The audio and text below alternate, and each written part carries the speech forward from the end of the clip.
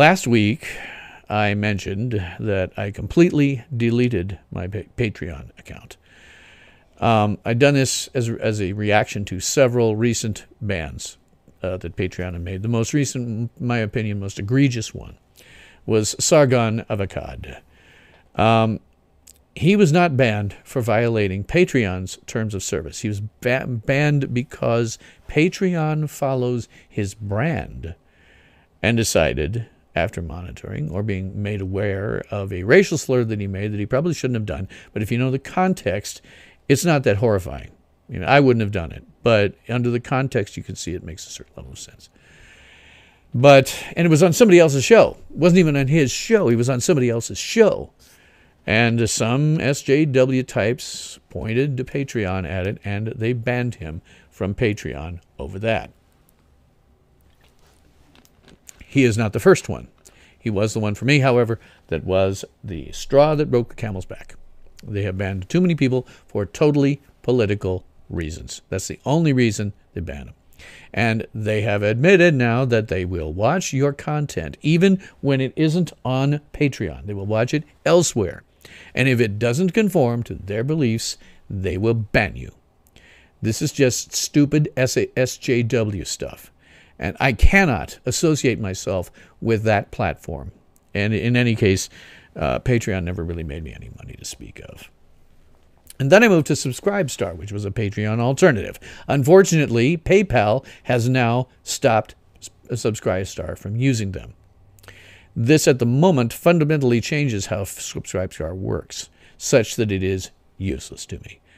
Subscribestar now only makes payouts when you have reached $150. Now, I have to tell you, I've made a couple of 300 bucks in donations total over the course of a couple of years. I'm a small creator. I know it. I know that I'm not getting a lot of money for it. I am extraordinarily grateful for those of you, Larry, who are contributing and supporting this show, but I don't get a lot of them. I am not Sargon of Akkad. I am not somebody who's making my living at this. Which, since they only will pay out $150, it could be months before I see any of that money. So, Subscribestar, because of what PayPal has done, is now totally useless to me.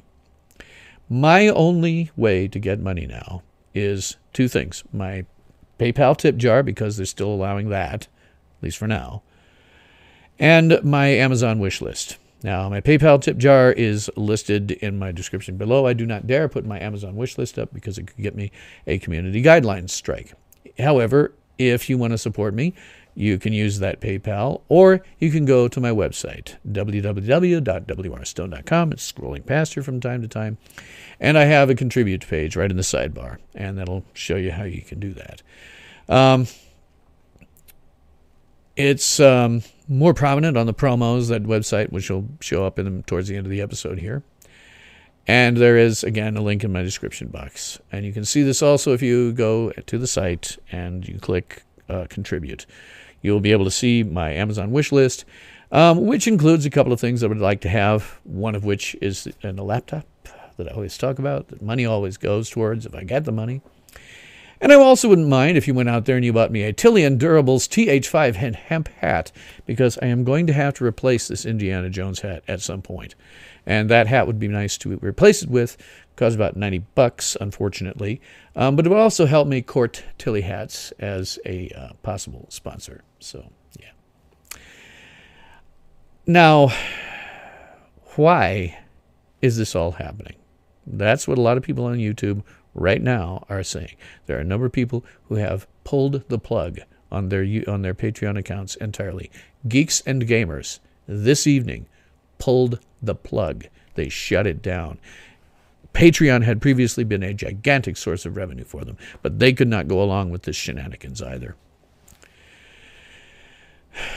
So what I really want to talk about here is the the previous part was just the self-serving part. How does this impact me? Well, you, you got my PayPal tip jar and my Amazon wish list. That's all. That's all. That's all you can do for me personally. But I want to talk about why this is happening. Now, on Patreon, the answer is quite obvious. From everything that the people have said, you can go and you know, research some of this yourself. But when you look at what the, the people at Patreon are talking about, it's like most platforms. it is filled with socialists and communists who, by definition, don't approve of free speech, and so will therefore use any means, any excuse to silence anyone who disagrees with them, who disagrees with socialist and communist philosophies.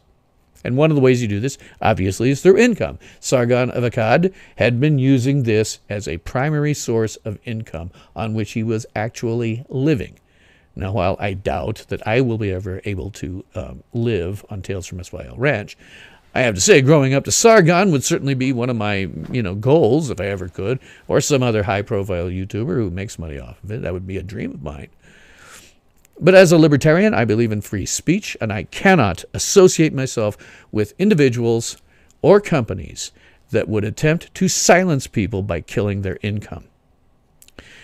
Now, I have to say, does Patreon have the right to kick people off for political reasons? Yes, they do.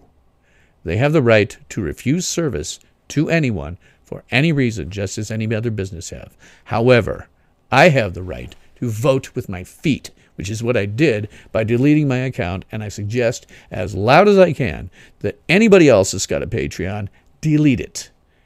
And others are doing the same. A couple of very high profile YouTubers, one of whom was number 13 in terms of their top earners on Patreon, killed his account. Geeks and Gamers, which made a lot of money off of Patreon, killed its account. And there's at least one other person who did a live stream this evening who is also about to kill his account. And I would hope that these sounds, because we can only vote with our feet, the only way to deal with this is to not associate with it. And I would certainly hope that the sounds of the thundering feet going off the platform will eventually cause Patreon to go out of business. When you don't have any customers, you will die. And I certainly hope that's what happens here. Now, Subscribe Star is a much thornier problem because they were the ones that were banned from using PayPal. They have not done what PayPal, Patreon has done. Indeed, far from it. They seem perfectly content to let anyone use their service, regardless of what they believe. You know, what made Subscribe I was happy about Subscribe last week, and then as this later this week, when PayPal pulled the plug on them, made it useless to me. So you have to ask yourself, why did PayPal pull the plug? Because I doubt, I, I, mean, there's conspiracy theories out there, but I doubt, I seriously doubt that PayPal did this because they have an anti free speech bias. Their business model makes money from transactions. Banning platforms like Subscribestar is really very contrary to their own financial interests. And they have done some bans to other people from time to time based on ideology, but I don't think that's what was going on here. It's just contrary to the financial interests. And it appears to be for social justice warrior interests, but I think that's actually too simplistic. Uh, Subscribestar base in Russia. I do not know, Larry. Larry, I'm not sure where they're based. I just knew that they were the only, at the time, last week, a viable competitor, and now they are not. I think PayPal banning them has to do simply with avoiding violence. You have to remember what are social justice warriors really famous for, aside from being complete jerks and a-holes all the time? They will send their militant wing, the Antifa, to your doorstep, where the Antifa will employ rocks, knives, and numbing agents which they did, by the way, in the nine, in the uh, 2015 Republican National Convention, which you don't know about because the press never said anything about it. But I know because I was listening to freaking scanners, the police scanners, and I knew that people were getting injected with numbing agents. That's what the that's what the Antifa do. They also show up with Molotov cocktails. They do physical assaults, sometimes sending people to the hospital. Most recently, a couple of Marines who had no freaking clue what was going on. Um, they were asked by a bunch of Antifa, Are you proud? They thought they were referring to Proud Boys. These Marines didn't even know who Proud Boys were. And they said, Are you proud? And they said, Well, we're Marines. You know, guys who are in the service usually are proud of that. And they said, Are you proud boys? And they said, What the hell are you talking about? And they got beat up by Antifa. These guys will send you to the hospital and they will cause pro- property destruction. They need tens of thousands of dollars, if not more. This kind of violence, mayhem, and destruction is the threat behind any social justice warrior activity. If you do not respond to their demands, there is every likelihood that your employees will be put at risk of death and your property at risk of complete destruction. That is now the obvious implied threat behind any social justice warrior activity. This is out and out extortion of a political kind. Do what we say, or we will kill you. It's just as simple as that. So, in the face of this, what does a responsible company do? Do you hire thousands of security guards for all of their properties and all of their employees? Or you just do the easy thing, which is kowtow to the demands? And I don't play, blame PayPal for doing this. In the face of threat of violence and death, they've done the same thing. Now, as a business response, if you are a businessman, the biggest problem is Silicon Valley. I was in IT for 40 years until health concerns forced me to retire. And I can say that I have now been of two minds about things. On the one hand, I am extremely proud to have been part of the generation and actively involved in creating today's internet. On the flip side, I now see that it can be seriously misused, and it is being seriously misused by some of the smartest people who have been involved in making it, and they are all centered in Silicon Valley. Silicon Valley is filled with nothing but socialists and communists, and they support social justice warriors and their militant wing, the Antifa if you are starting a business or that needs IT or is based on IT, and or maybe you're thinking about relocating your business somewhere else, don't do it in Silicon Valley. Don't go there. Come here, for example. Come to the Midwest. Come to the Upper Great Plains. Come to Omaha, Nebraska.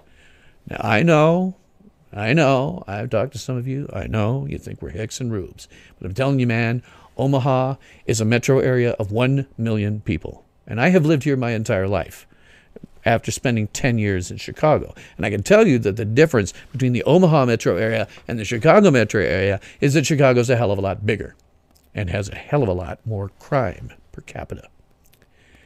And we are not generally SJWs. In my 40 years in IT, the overwhelming majority of my colleagues were either conservative, libertarian leaning conservatives, or outright libertarians. We will not do the same things that they do in Silicon Valley. We do not have that culture. If you're a businessman, leave there.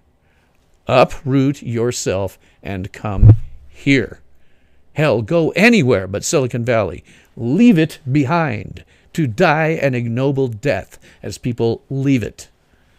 By the way, um, just so you know, the cost of living here is a fraction of what it is in Silicon Valley. For $250,000, you can get yourself a damn mansion out here. So if you're a businessman with IT needs, leave Silicon Valley right now. They are the problem. Get out.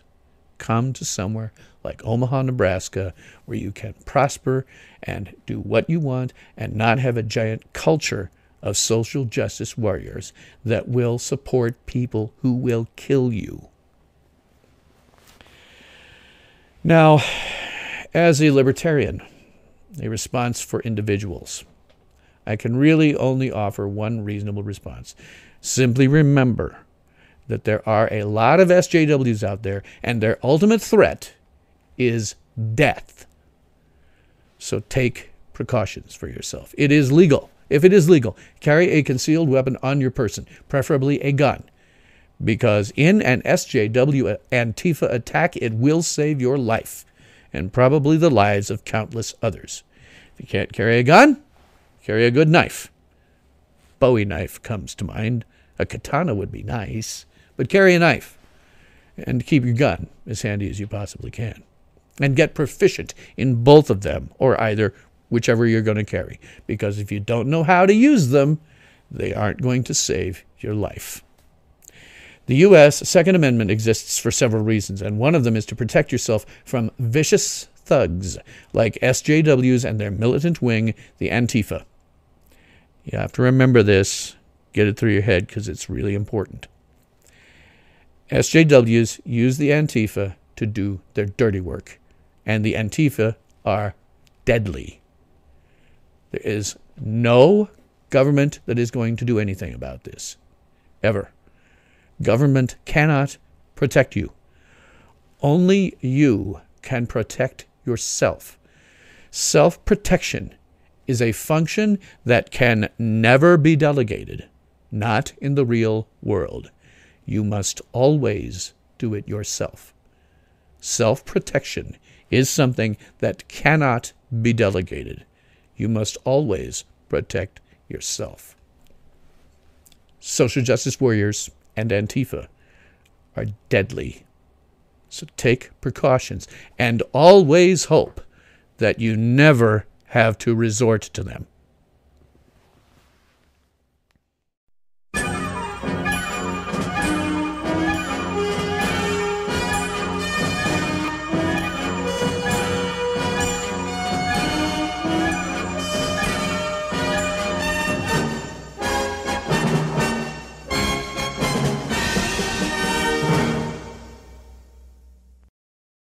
Ultimate power in this world has always been one simple thing the control and manipulation of minds.